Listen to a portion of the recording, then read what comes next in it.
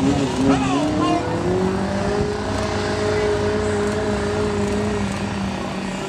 it tacked up there, Brooke. Come on, Brooke.